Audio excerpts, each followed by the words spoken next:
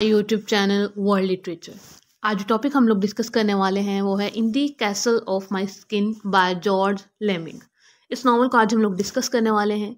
ये नावल सबसे पहले 1953 में पब्लिश हुआ था और इसकी अगर हम लोग बात करें बारबेडियन ऑथर जॉर्ज लेमिंग ने इसको जो है वो लिखा था। उसके बाद जॉर्ज लेमिंग की अगर बात करें अपने राइटर की तो इनकी बर्थ हुई थी 1927 में जून एट बारबाडोस में, जो कि एक प्रोमिनेंट कैरिबियन नॉवलिस्ट थे, साथ ही साथ एसियस थे और पोइट थे। उसके बाद अगर कैरिबियन लिटरेचर की हम लोग बात करें तो उसमें एक लीडिंग फिगर के तौर पर इन्होंने अपना रोल प्ले किया। साथ ही साथ इन्होंने पोस्ट वॉर पीरियड में बहुत ज़्यादा काम किया और इन्होंने ऐसे थीम्स पे काम किया, जैसे colonialism identity and the African diaspora novel के टाइटल की बात करें, जैसे कि हमारा टाइटल है in the castle of my skin castle को हम लोग एज अ मेटाफर यहाँ पे यूज़ कर सकते हैं, जिसका मीनिंग होता है सेल्फ या फिर बॉडी मी और स्किन जिसका लिटरल या फिर हम लोग फिगरेटिव एक मीनिंग ले सकते हैं। एक्चुअली में यहाँ पे बात हो रही है सेल्फ बींग की, कि जैसे कैसल का मीनिंग होता है कि सेल्फ और बॉडी कि एक इंसान की जो पर्सनल ग्रोथ है, उसका पर्सनल एक्सपीरियंस है साथ ही साथ, जो हमारी स्किन मीन्स के हमारा जो माइंड है, उसके अंदर जो एक सेल्फ बींग है, हमारी सोल के अंदर जो सेल्फ बींग है उसका जो एक्सपीरियंस है, उस चीज़ को हम लोग इसमें डिस्कस करते हैं। साथ ही साथ अगर हम लोग इसमें अगर इसका डीपर मीनिंग देखें तो इसमें सेफ्टी और आइडेंटिटी का मीनिंग भी आता है, जिसको हम लोग कैसल कहते हैं। साथ ही साथ एक इंसान की जो सेल्फ होती है, हर इंसान के अंदर एक सेल्फ ओपिनियन होता है सेल्फ थॉट होती है।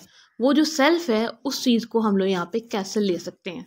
और जो प्रोटेगनिस्ट है हमारे इस नावल की स्टोरी का वो उसमें जो है, वो डिफरेंट चेंजेस होते हैं उसकी जर्नी में, उसकी लाइफ में। एक्सटर्नल जो फोर्सेस हैं, उस पर इन्फ्लुएंस करती हैं। साथ ही साथ उसकी जो अंडरस्टैंडिंग है, वो डेवलप होती है और जो वर्ल्ड का उसका व्यू है, वो इंक्रीज़ होता है। तो इस चीज़ को हम लोग इस टाइटल के थ्रू जो है, वो रिप्रेजेंट करते हैं। In the castle of my skin के किस तरह से प्रोटेगनिस्ट की जो लाइफ है, उसकी जो जर्नी है, उसने जो हार्डशिप्स को फेस किया उन सबको एक टाइटल दिया गया in the castle of my skin इसके करेक्टर्स को डिस्कस करने से पहले, अगर हम लोग इस अपने नावल की बात करें तो इसको सोमरसेट मुगम अवार्ड भी मिला है। इस नावल को साथ ही साथ ये एक सेमी ऑटोबायोग्राफिकल नावल है जॉर्ज लेमिंग का।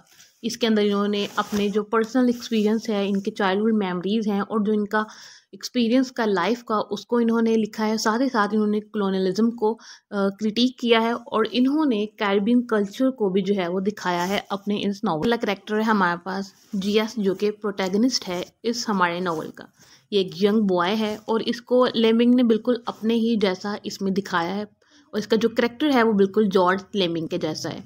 इसके अंदर इन्होंने अपने एक्सपीरियंसेस को बताया है, जो कि जी एस प्रोटैगनिस्ट है। साथ ही साथ उनकी जो जर्नी है चाइल्डहुड से एक यंग एज तक आते आते और जो कॉलोनियल सोसाइटी की ट्रांजिशन है, उसको ये रिप्रेजेंट करता है, जो कि हमारा प्रोटैगनिस्ट है जी एस उसके बाद हमारे पास सेकंड करेक्टर है पा एंड माँ जो कि जी एस के पेरेंट्स हैं और ये ओल्डर जनरेशन को रिप्रेजेंट करते हैं और इनके थ्रू जो हमें ट्रेडिशनल वैल्यूज़ हैं, उनका पता चलता है कि कैरबियन कल्चर कैसा है, वहाँ की ट्रेडिशनल जो वैल्यूज़ हैं, वो कैसी हैं। और एक वर्किंग क्लास को जो है, वो रिप्रेजेंट करते हैं और जो वर्किंग क्लास की स्ट्रगल है, ये उसको भी रिप्रेजेंट करते हैं। कलोनियल रूल के दौरान जब कोई सोसाइटी होती है तो उनको कौन सी हार्डशिप्स को फेस करना पड़ता है, उन सब चीज़ों को ये रिप्रेजेंट कर रहे हैं, पा एंड माँ। अब उसके बाद हमारा थर्ड करेक्टर है, जो कि है ट्रम्पर का करेक्टर ट्रम्पर जो है, वो जीएस जो कि प्रोटैगनिस्ट है हमारी स्टोरी का, उसका फ्रेंड है और ये यहाँ से माइग्रेट करके जो है, वो यूनाइटेड स्टेट्स चला जाता है। अब वहाँ जाके ये वहाँ का इन्वायरमेंट देखता है, वहाँ की सोसाइटी वहाँ की पॉलिटिक्स हर चीज़ को जो है, वो जज करता है और अपना जो इसका विजन है, वो उसको ब्रॉडर से ब्रॉडर करता है। जो कि है बॉय ब्लू ये भी जो है वो जीएस हमारे प्रोटैगनिस्ट का जो है वो फ्रेंड है और साथ ही साथ विलेज लाइफ में इसने, इसकी जो पार्टिसिपेशन है वो काफ़ी ज़्यादा है। उसकी यानी कि काफ़ी ज़्यादा ये डिस्कशंस करता है जो मैटर्स होते हैं विलेज के और जो यूथ को है ये उसको रिप्रेजेंट करता है। उसके बाद हमारे पास, हमारा लास्ट करेक्टर है मिस्टर स्लाइम ये टीचर है और लोकल लीडर है और इस, ये जो है पॉलिटिक्स में इन्वॉल्व है और जो विलेजर्स की एफ़र्ट्स होती हैं लैंड को बाय करने में ये उसको काफ़ी ज़्यादा सपोर्ट करता है। ये कॉम्प्लेक्स करेक्टर है जिसमें हमें एम्बिग्यूटीज़ नज़र आती हैं लीडरशिप भी है क्लोनियल कॉन्टेक्स्ट भी हमें नज़र आता है, हमें इसमें होप भी नज़र आती है। मीन्स पे इसकी मिक्सअप सी एक पर्सनैलिटी है जो हमारे सामने आती है। उसके बाद है the old woman old woman जो है वो एक सिग्निफिकेंट फिगर है इसमें जो कि विजडम और ट्रेडिशंस को दिखाती है, अपने करेक्टर के थ्रू जो ओल्डर जनरेशन कैसी थी, उन सब चीज़ों को ये रिप्रेजेंट लास्ट करेक्टर जो इस स्टोरी का है मिस्टर क्रेटन जो कि वाइट लैंड ओनर है, जो कि क्लोनलिज्म को यहाँ पे रिप्रेजेंट करते हैं कि ये जो क्लोनियल पावर है, वो वाइट्स की है इस विलेज में और जो विलेजर्स की लाइफ पे इम्पेक्ट होता है मिस्टर क्राइटन की वजह से, वो इस करेक्टर के थ्रू हमें जो है, वो स्टोरी में पता चलता है। स्टोरी हमारे नावल की इस तरह से स्टार्ट होती है कि विलेज हमें सबसे पहले जो है, वो दिखाया जाता है।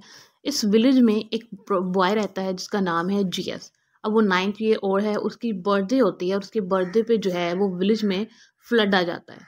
अब उस फ्लड को जो है, वो जीएस जो है, वो काफ़ी बैड समझता है। उसके लिए एक सैड थिंग थी कि मेरे बर्थडे पे ऐसा हो गया और मैं अब अपनी बर्थडे को जो है, वो सेलिब्रेट नहीं कर सकता।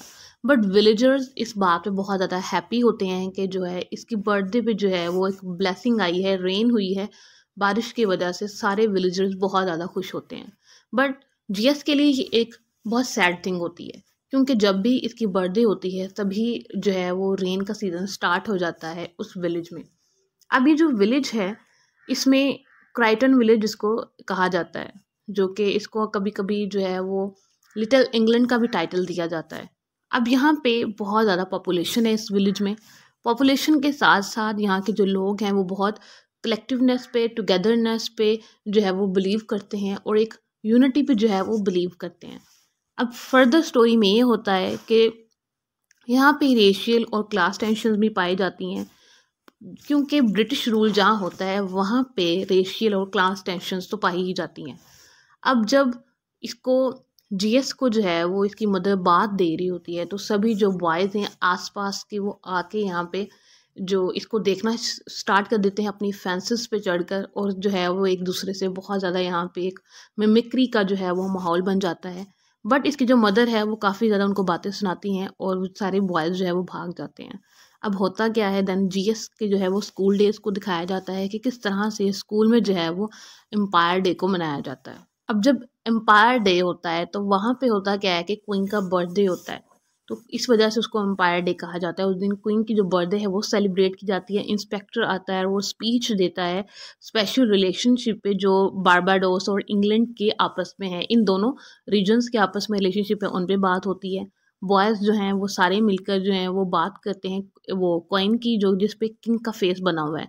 और वो बात करते हैं कि हम ये जो कॉइन यूज़ कर रहे हैं, जिस पे किंग का फेस बना हुआ है, क्योंकि किंग तो उनका नहीं है, क्योंकि ये सब तो ब्लैक है। तो वाइट किंग का जो फेस है, उस कॉइन पे लगाना मीन्स कि स्लेवरी की अलामत है, कि ये जो विलेज है, वो स्लेवरी में अपनी लाइफ को गुजार रहा है। अब होता यह है कि ओल्ड वुमेन और मैन जो हैं, वो इवेंट्स को डिस्कस करते हैं, जो कि फ्लड से पहले तक थे, कि फ्लड से पहले यहाँ पे विलेज की लाइफ क्या थी, और अब जो है वो विलेज की लाइफ कितनी चेंज हो चुकी है। और मिस्टर स्लाइम जो है, उन्होंने एक पैनी बैंक स्टार्ट किया हुआ है, जो कि एक फ्रेंडली पैनी बैंक है, जिसमें सारे विलेजर्स अपनी जो पैनीज़ हैं यहाँ पे इनकी जो भी इनकम या फिर इनकी जो भी मनी है, वो उसको कलेक्ट करवाते हैं यहाँ पे। यानी कि वो काफ़ी ज़्यादा इस पर ट्रस्ट करते हैं मिस्टर स्लाइम पे। अब विलेज में एक और इवेंट भी होता है, यहाँ पे केक्स के लेकर कोई आता है और सभी विलेजर्स उनसे केक्स ज़रूर लेते हैं। और ये इवेंट इस विलेजर का बहुत इंपॉर्टेंट है, जो कि कल्चर को यहाँ के को दिखाता है। स्टोरी में फर्दर ये होता है कि स्लाइम जो कि एज अ लीडर यहाँ पे काम करता है, फिर वो बताता है कि वो एक पॉलिटिकल कुछ काम होते हैं जो कि डॉक्स एक जगह है, वहाँ पे पॉलिटिकल अप हैवल्स हो रहे होते हैं, वहाँ पे ये काम कर रहा होता है। और साथ ही साथ वर्ल्ड वॉर टू जो है वो स्टार्ट हो जाती है, जो कि यूरोप में स्टार्ट होती है, लेकिन अभी तक इस विलेज तक उस वॉर का इतना इम्पैक्ट नहीं आया होता बट इम्पैक्ट जो है वो आना स्टार्ट हो जाता है।